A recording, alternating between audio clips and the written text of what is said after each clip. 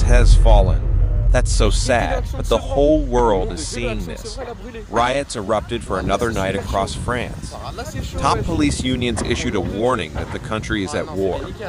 Alliance Police Nationale and UNSA Police, over the weekend, said that officers are at war with vermin. Today, the police are in combat because we are at war. Tomorrow, we will enter resistance, and the government should be aware of this.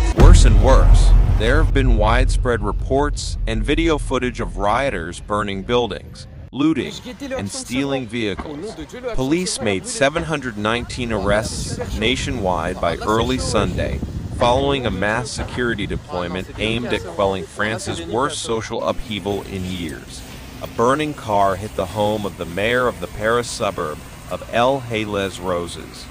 Several schools, police stations, town halls, and stores have been targeted by fires or vandalism in recent days.